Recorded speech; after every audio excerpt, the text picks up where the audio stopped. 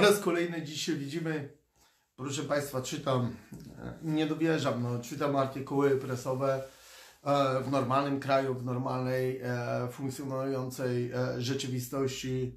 Takich, proszę Państwa, takich kabaretów po prostu nie wymyśliłby naprawdę żaden, ale to żaden rząd. Po prostu to, co widzimy, a co przedstawia nam gazeta dzisiaj Farmer, dotycząca, proszę Państwa, postawienia w e, stan oskarżenia rolnika, który zabił świnie w sposób nielegalny we własnym gospodarstwie rolnym, proszę Państwa, to jest absurd w porównaniu z tym, co mamy e, robione i z czym mamy do czynienia e, w kwestii, proszę Państwa, systemu przetwórstwa rolno-spożywczego.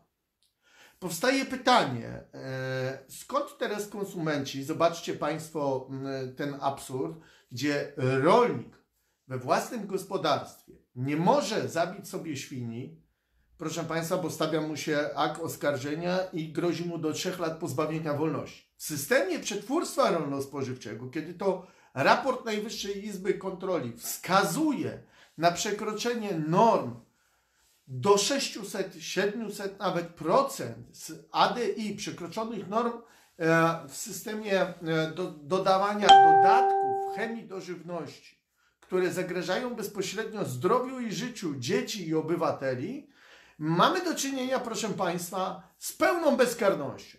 Nie, nie reaguje na to prezydent Rzeczypospolitej Polskiej, do którego żeśmy wystosowali petycję. Nie reaguje na to, proszę Państwa, premier Rzeczypospolitej Polskiej, który ten raport 3 stycznia 2019 roku otrzymał i do dnia dzisiejszego nie zrobił w tej sprawie nic.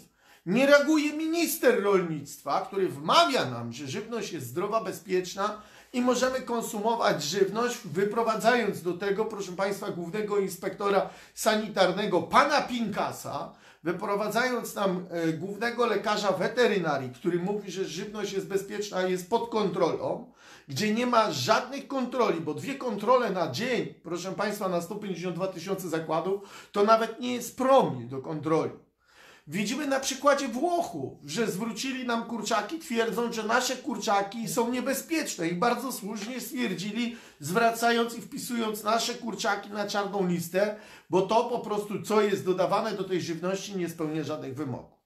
Widzimy problem polskiego rolnika, który chce produkować, chce zrobić wędlinę, chce coś zrobić z tej świni, którą chowa, ale nie może, proszę Państwa, zabić zgodnie z przepisami, z prawem świni we własnym gospodarstwie rolnym. Słyszymy, że pan minister Jan Krzysztof Ardanowski opowiada, że rolnicy przecież mają sprzedaż bezpośrednią, mogą przetwarzać, mogą robić w dziwnych okolicznościach. Widzimy, że rolników z siebie bierze i stawia się, proszę Państwa, przed wymiarem sprawiedliwości.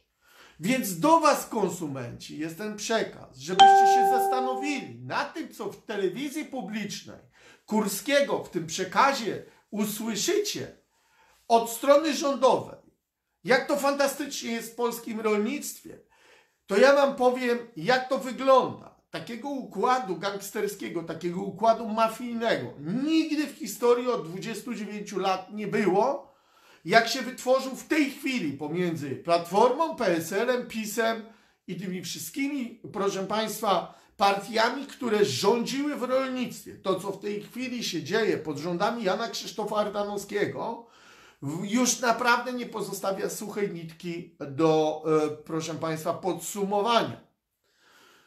Już niejednokrotnie mówiłem e, osobiście Janowi Krzysztofowi Ardanowskiemu na sejmowych komisjach rolnictwa, w rozmowach, kiedy żeśmy się spotykali, że to jest absurd, że to jest po prostu sytuacja niebywała. E, proszę Państwa, widzimy tragedię polskiego rolnika. Zabił świnię, chował tą świnię, zabił tą świnię i za tą świnię grozi mu do trzech lat pozbawienia wolności.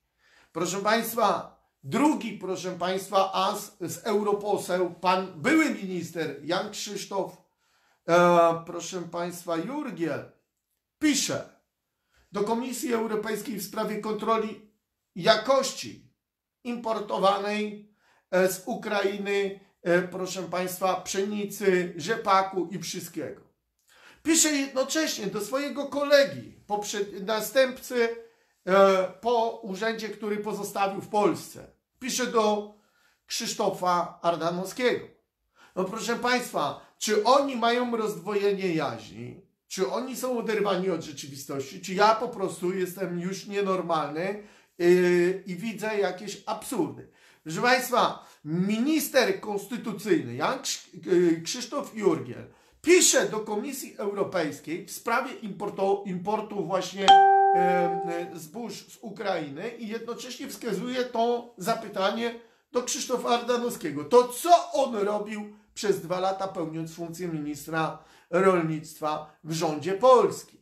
Proszę Państwa, nie jest tajemnicą od e, dłuższego czasu, że import, nielegalny import, e, ten, proszę Państwa, w ramach kontyngentu e, Unii Europejskiej w 99% zostaje w Polsce. Przez to zdumpingowane są ceny.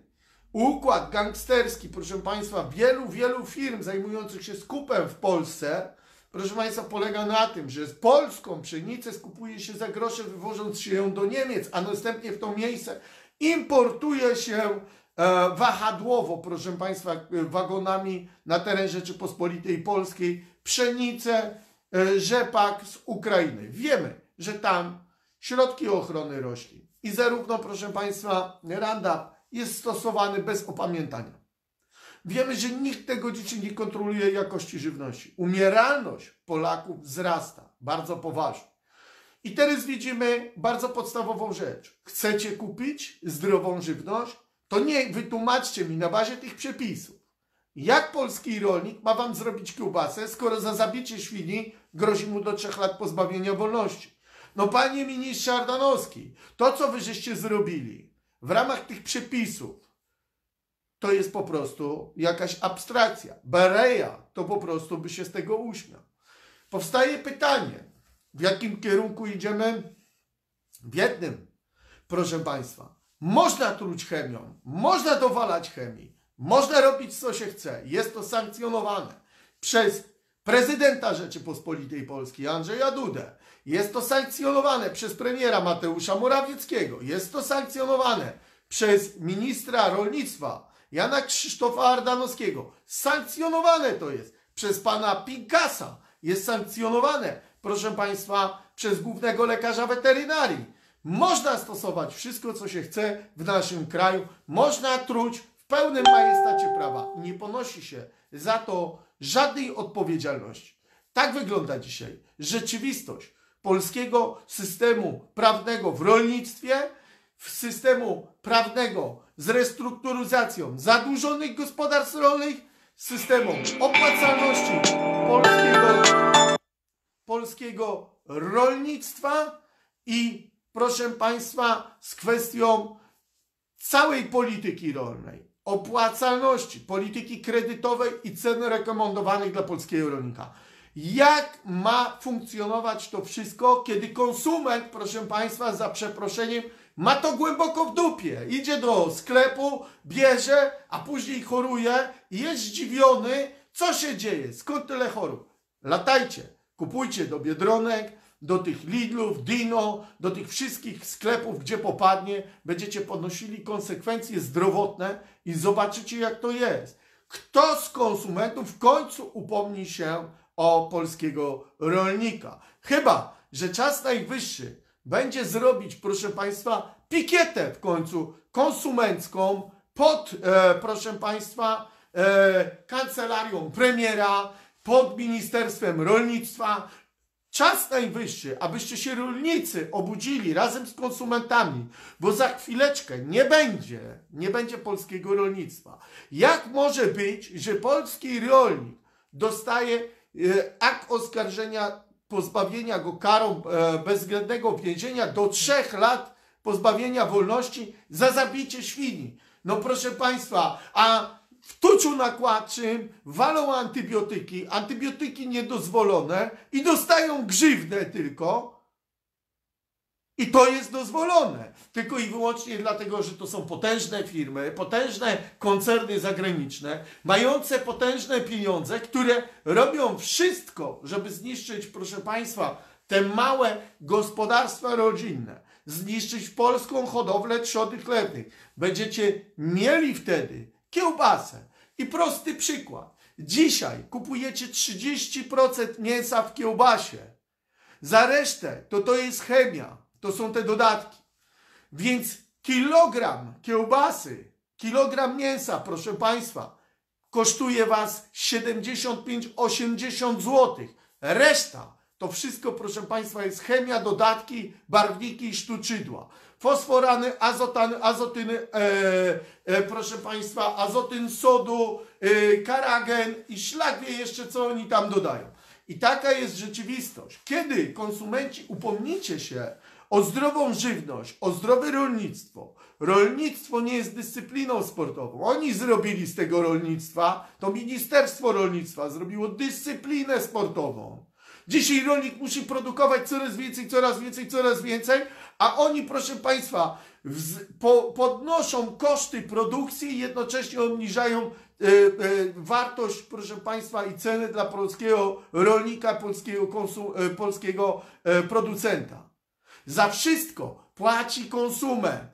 Tylko, że jeżeli nie będzie polskich rolników, to za chwileczkę będziecie mieli tylko i wyłącznie kiełbaskę, którą sobie będziecie mogli przykleić trupią czachę, bo spożywanie takiej kiełbasy, proszę Państwa, jest ewidentnie, proszę Państwa, kierunkiem jednym, na cmentarz. Każdy Polak, każdy Polak, jak tutaj jesteśmy, i wy, i ja, wszyscy, ja już wiem, dlatego ograniczam do maksimum, ale każdy z nas konsumuje 2 do 3 kg chemii proszę Państwa, rocznie.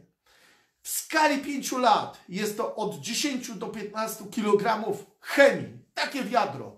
Wyobrażacie sobie, co oni wyprawiają z nami? I pan minister Jan Krzysztof Ardanowski mówi, że żywność jest zdrowa. Kto jest za tym, żebyśmy w najbliższym czasie powołali do życia poważną, poważny ruch oporu konsumencko-rolniczego, rolniczo-konsumenckiego, przeciwko tej polityce, która w naszym kraju ma miejsce. Czas najwyższy, abyśmy, proszę Państwa, zaczęli nie gadać, nie dyskutować tylko tutaj, tylko czas najwyższy, aby rolnicy zebrali dupy z tych krzeseł z traktorów, wyjechali traktorami na ulicę, a te protesty poparli konsumenci. Chcecie jeść zdrowo? To kto wam to wyprodukuje? będziecie najwyżej mięso z próbówek jedli, albo to, co właśnie w McDonaldzie jest pokazane. Idziecie co sobotę i niedzielę z dziećmi do McDonalda i zobaczcie, że w Irlandii hot dog i frytki przetrwały 10 lat. To wyobraźcie sobie, jak to jest nafaszerowane chemią, ale wy idziecie do McDonalda i kupujecie to właśnie dzieciom. Przecież to jest jakiś absurd. To jest absurd. Czy Polacy jeszcze mają mózgi, którymi potrafią się kierować? Jak długo? Jak długo jeszcze będziecie pozwalać, żeby siebie truć? Jak długo będziecie pozwalali, żeby takie przepisy, właśnie jak dzisiaj farmer pokazał, były, że rolnik za zabicie świni we własnym gospodarstwie rolnym dostaje 3 lata, y, y, akt oskarżenia na 3 y, lata pozbawienia bezwzględnego więzienia. Przecież to, to już naprawdę woła o pomstę do nieba. Kiedy wy, konsumenci, zaczniecie myśleć mózgami i rolnicy? Kiedy weźmiecie się i zaczniecie normalnie między sobą rozmawiać? Kiedy będzie jakaś jedność tym narodzie polskim i zaczniemy się jeden za drugiego wstawiać? Czy po prostu macie wszyscy pełne gacie i będziecie się bali i będziecie pozwalali na trucie swoich dzieci, e, sąsiada dzieci, E, swojego sąsiada i tak kółko. I to, proszę Państwa, co właśnie czytamy, to co pokazał farmer, to co pokazuje się, te absurdy, proszę Państwa. Nawet w gospodarstwie agroturystycznym, w którym rolnik prowadzi gospodarstwo agroturystyczne, ma świnię, nie może zabić świni, żeby ją przetworzyć i żeby zrobić wędliny i ugościć swojego gościa w gospodarstwie agroturystycznym. I rolnicy mają mieć zarobek. Na mleku złoty 20 poniżej kosztów produkcji. Urąbani, urąbieni, proszę Państwa, a wszyscy ich okradają. Jak wygląda sprawa mleczarni? Jak wygląda ustawa o spółdzielczości? Pięknie, bez kredytów, bez niczego, budują proszkownie, proszę Państwa, po 40, po 50 milionów złotych. A skąd te pieniądze? Z okradzionego, obkrojonego polskiego rolnika. Ale wy będziecie martwe mleko pili albo w butelce plastikowej, albo w kartonie. Bardzo niezdrowe, bardzo niebezpieczne. I tak się właśnie dzieje. Tylko i wyłącznie dlatego, że jest taka bierność i rolników, i konsumentów. I tak żeśmy pozwolili nasrać sobie na głowę i tak będziemy, proszę Państwa, kończyli. Za chwilę rolnikom nie będzie się opłacało już niczego robić. Pozamykają gospodarstwa rolne, a wy wtedy będziecie zakładali sobie pod blokami w centrum miast plantacje bananów i hodujcie sobie banany i będziecie małpy udawać i wtedy będziecie wiedzieli.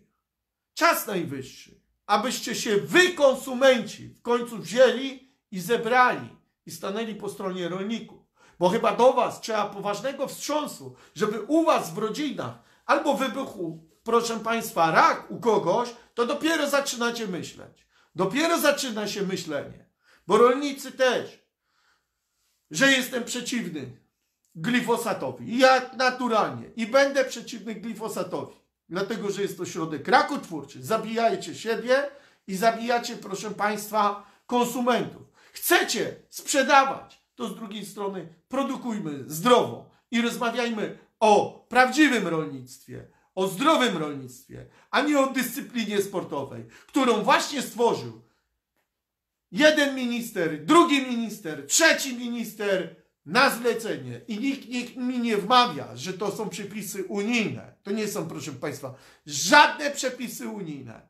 To nie Unia wymaga takich przepisów, tylko ta gangsterka na terenie Rzeczypospolitej Polskiej uwłaszcza się na polskim rolnictwie, wyniszcza polskie rolnictwo przy jednoczesnym, proszę Państwa, oddawaniu polskiego rolnictwa w ręce korporacji zagranicznych. Miłego wieczoru.